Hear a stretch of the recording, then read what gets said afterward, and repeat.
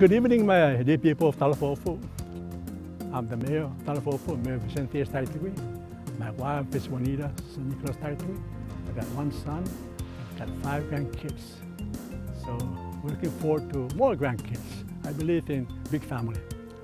So I want to, you know, extend a heartfelt thanks to the people of Talofofo for the support they have given me for the last eight years. Hafa adai, family, friends, neighbors of uh, and Ipan.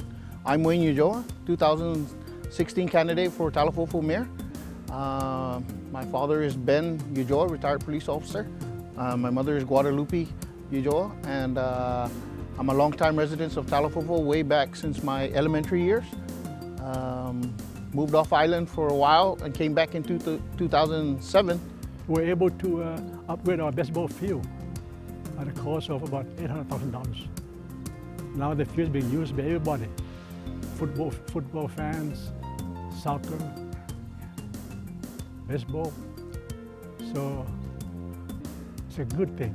Everybody comes to to use it. It's the only field available in southern part of Guam for our kids. The Jeremy Newby Center, you know, was uh, opened up and dedicated to a young man who uh, spent most of his uh, life here uh, out of school um, doing the activities that were at one time active in the community. Uh, currently now, year after year, it seems to be uh, dying out and it's the place is getting run down. You know, uh, they're making some minor improvements to the structure, but I'd like to see uh, inter, uh, an effective and interactive uh, programs. What's down the line for the Talofofo? Yes, we're looking forward to uh, constructing a soccer stadium in Talofofo for the soccer uh, in here in, Talofofo.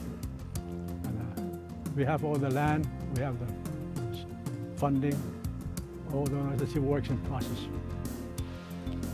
And uh, another thing we're looking forward is to build a football field for our football players.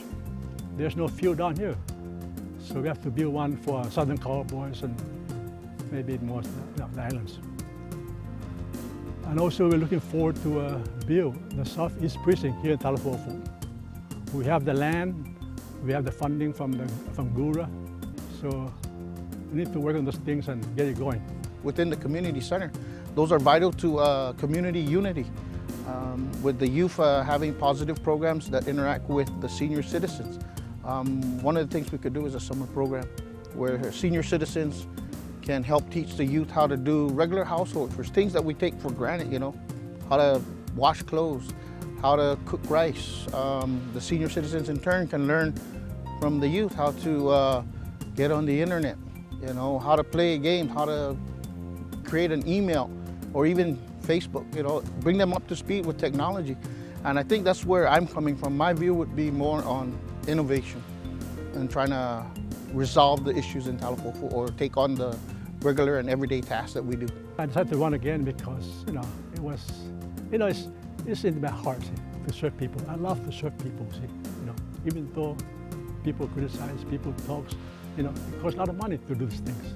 You know, I'm willing to help, you know, a lot of people here that needs help, especially the low-income people, people that, you know, in the welfare. But uh, I'll take the risk and, uh, you know, I, I love it and I love the people and I love, I love to help them, even though it costs me some money on the side, but that's the way it is, and it's the love in the heart that, you know, that make me want to serve. Pretty much uh, with the skill set that I, I'm going to say I got from the, the, the mainland itself, as well as uh, the mayor, the current mayor, Mayor Taitague, my experience in working his, his office is uh, the rapport you develop with the community, the trust that they have to come to you for to resolve issues, although you know you're you're only uh, an employee of the mayor's office. But it, it, I learned a lot watching how he worked with them and be able to resolve solutions. And it brought to mind how I would probably do it. Uh, you know, and I guess I would just, again, use innovation, today's technology, uh, by maintaining uh, traditional practices that they do in the community. Again, I come before you, my dear people of Talofofo, to humbly ask for your support come August 27.